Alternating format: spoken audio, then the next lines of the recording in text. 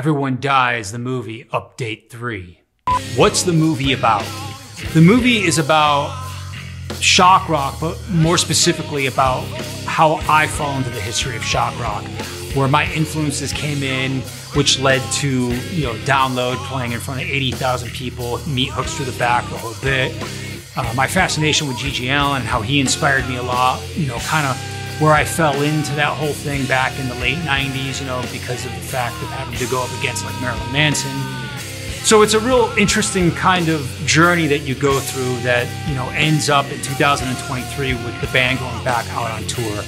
So it's uh, primarily about Society One, but also about me and my career and things that I've done. From body suspension and to live and stage Zane and his crew gained notoriety for pushing the envelope as far as humanly possible.